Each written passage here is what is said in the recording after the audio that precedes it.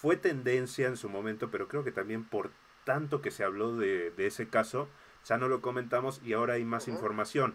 Me refiero a el cantante Yoshio, quien ah, él entró en un estado grave al hospital por el justamente por el COVID-19 y ahora aseguran de palabras de Alejandra Ábalos y la esposa de Yoshio, que es Marcela Hernández, que eh, Yoshio se encuentra en estado crítico, ya que se le colapsó un pulmón, algo que nos indicaría que es otro efecto que, tiene el COVID y que no teníamos contemplado, me parece, ¿no?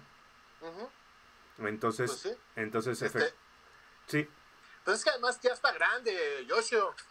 Sí, ya, ya está grande y ahora con, este tema de, del pulmón que se le colapsó, lógicamente esto ya se pasó de un, de un estado grave a un estado crítico y justamente eh, lo que estaban diciendo es que necesitan urgentemente el remdesivir, porque obviamente no hay acá en México.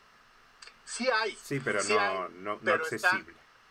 este, este, exactamente, no, no es accesible. O sea, eh, es, es difícil de conseguir es caro y este y no lo tienen en todos los hospitales y menos en los hospitales públicos. Lo tienen en hospitales privados, está muy caro y este es difícil su acceso y no no sé dónde esté eh, eh, internado don Joshua, pero eh, pues no, o sea, no no es de fácil acceso.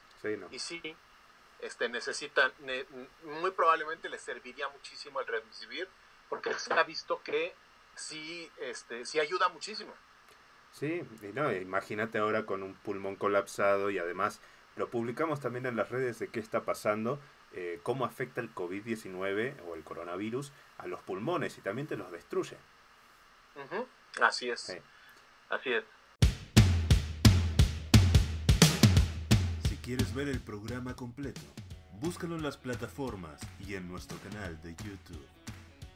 Aquí te contamos qué está pasando.